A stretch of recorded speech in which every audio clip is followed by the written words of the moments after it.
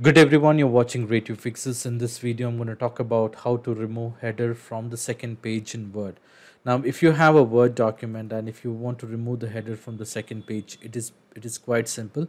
Now, to do this, um, the first thing what you will have to do is in case if you're on a single page document view, you will have to go to View.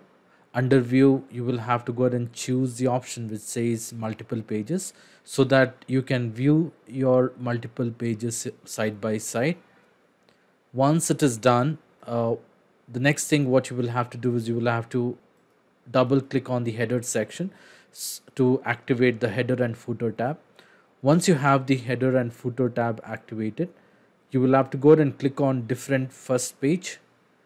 And once you click on different first page you can go to the second page under the header section cut the header from here go, come to the first page and paste the header align the way how you want to align it and then click on close.